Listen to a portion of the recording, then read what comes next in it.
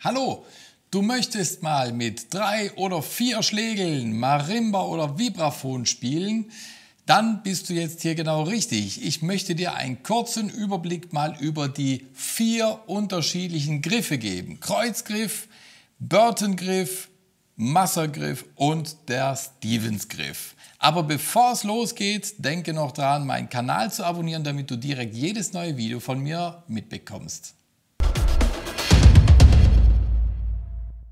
Hallo, ich bin der Rudi und heute möchte ich dir mal die vier Griffe zur Vierschlägelhaltung vorstellen. Sie unterscheiden sich alle ein klein wenig. Man kann mit allen Vieren auch spielen. Jeder bevorzugt dann auch etwas anderes, je nachdem auch was für ein Instrument er spielt.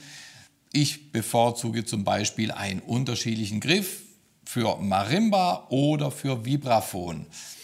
Und da findet dann jeder so irgendwann seines. Es ist jetzt nicht unbedingt gesagt, dass ein Griff der unbedingt schlechtere ist, aber ähm, es hat doch so seine Vor- und Nachteile. Du hast sicherlich schon mal etwas von dem Kreuzgriff gehört und da möchte ich einmal ähm, damit aufräumen, was da für ein Unterschied besteht, weil es gibt zwei unterschiedliche Griffe, die gerne als Kreuzgriff bezeichnet werden, aber nur eine ist der traditionelle Griff oder traditionelle Kreuzgriff und dann gibt es noch den sogenannten Burton-Griff, der nach Gary Burton benannt ist. Der Unterschied ist, also man sagt auch gerne, das eine ist der traditionelle Kreuzgriff und das andere ist der Burton-Kreuzgriff. Also nur, dass du diese unterschiedlichen ähm, Bezeichnungen auch mal gehört hast. Der Unterschied hier, der Kreuzgriff, der besteht darin im Prinzip, das war auch der erste Vier-Schlägelgriff sozusagen, wir versuchen den einen Schlägel ganz normal zu halten, wie wir immer einen Schlägel halten. Und jetzt war die Aufgabe irgendwann, wir sollen einen zweiten Schlägel reinbringen und in die Hand. Und da ich hier schon belegt bin, hat man das dann so gemacht, man hat den zweiten Schlägel quasi eingelegt zwischen Mittelfinger und Ringfinger, dass es quasi so ein V in der Hand gibt. Den Innenschlägel halte ich also wie gesagt, ganz normal und den anderen lege ich einfach da drüber. Somit kreuzen sich in der Hand hier hinten dann die Schlägel und somit ist es der Kreuzgriff, der traditionelle. Ich lege dann die anderen, vor allem die, den Ring und den kleinen Finger ordentlich drum, fixiere noch mit dem Mittelfinger den Außenschlägel, und somit habe ich zwei Schlägel, die ich beide gleichzeitig spielen kann aus dem Handgelenk heraus.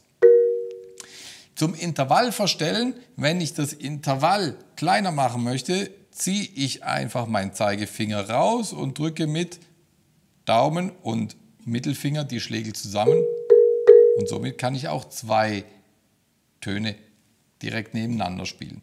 Will ich den Griff größer machen, ziehe ich den Zeigefinger erst rein, wechsel dann mit dem Daumen und spreize mit Daumen und Zeigefinger die Schläge und kann so spielen. Dabei in der in Innenhand fixiere ich mit den drei Fingern immer oder mit, vor allem mit den beiden, mit Kleinfinger und Ringfinger, die Schlägel dass die nicht wegrutschen. Das ist der traditionelle Kreuzgriff. Was passiert bei Burton? Burton hat es anders gemacht und zwar, er dreht das Kreuz quasi um. Er nimmt den Innen- oder Außenschlägel, Entschuldigung, den Außenschlägel, legt den zuerst ein und fixiert ihn in dieser Handmulde und legt den zwischen Zeigefinger und Mittelfinger.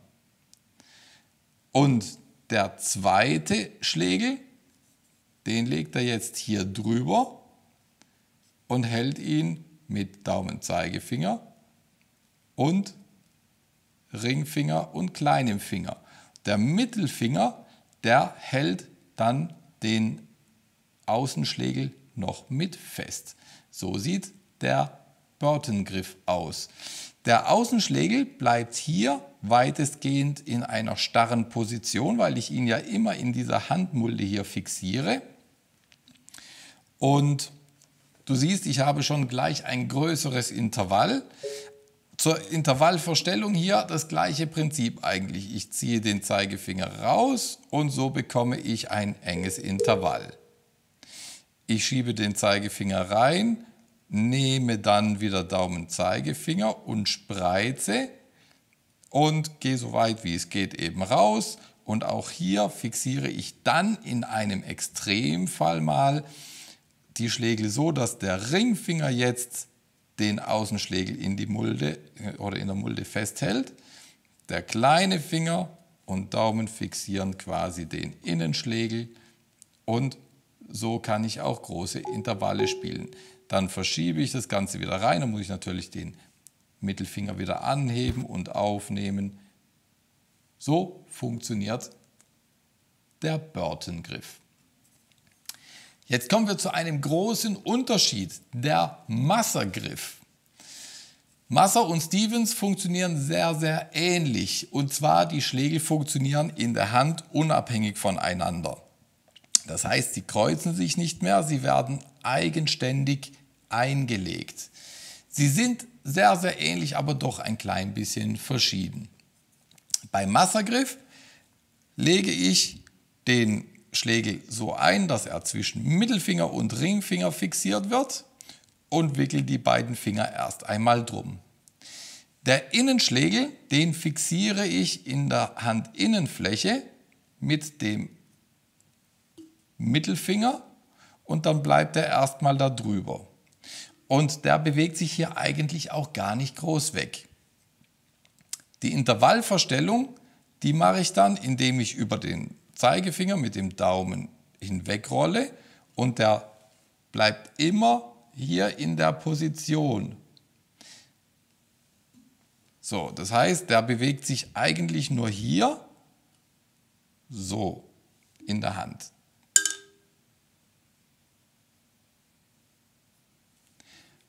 Das ist beim Massergriff. Der Außenschlägel ist hier relativ starr und wird eigentlich auch nicht groß bei der Intervallverstellung verwendet. Was man hier noch im Extremintervall macht, das ist, dass der Daumen, wie, wie, du sehen kannst, dadurch, dass es jetzt hier starr ist, kann man auch mal hier reinnehmen und so fixieren. Da bekommt man eine höhere deutlich höhere Spannweite übrigens als bei den Kreuzgriffen, weil die Schlägel sich ja nicht überkreuzen. Das hat auch noch einen Vorteil. Ähm, zum Zurückgehen lasse ich den Schlägel einfach wieder reingleiten. Zum Zusammengehen, das ist hier viel leichter als bei den Kreuzgriffen, finde ich persönlich. Ich muss einfach ganz nah gehen. Also beim Massergriff bleibt das Ende vom Stiel in der Hand eigentlich starr und wird da ordentlich fixiert. Was da ordentlich oder was da vorkommen kann, ist, wenn man jetzt viel spielt, da bekommt man hier mal ordentlich eine Hornhaut oder das kann auch mal ein bisschen schmerzhaft sein, zu Beginn vor allem.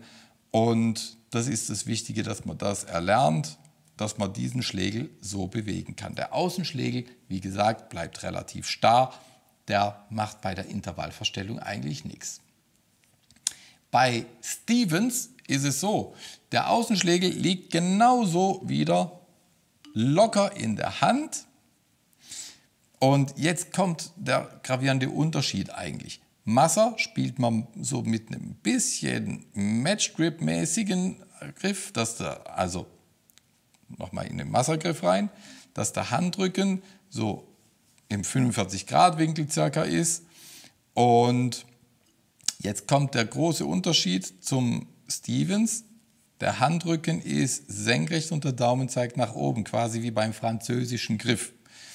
So, hier liegt jetzt auch ganz locker, hängt der Außenschlägel und kommt zwischen Ring und Mittelfinger raus und den Innenschlägel lege ich mal an die Daumenwurzel und halte ihn mit Daumenzeigefinger und dem Mittelfinger, da kann ich auch noch ein bisschen fixieren. So halte ich erst einmal den Stevens-Griff. So, jetzt kommt der große Unterschied. Beim Intervallverstellen bewegt sich jetzt im Inneren der Schlägel mit. Also der Schlägel macht jetzt im Prinzip beim die Bewegung beim Masser und die Bewegung beim Stevens. Und das ist der große Unterschied eigentlich, dass der Schlägel hier eine Bewegung drinnen macht. Jetzt in der Extremposition, im rechten Winkel von den Schlägeln, habe ich den Schlägel hier an der Fingerwurzel.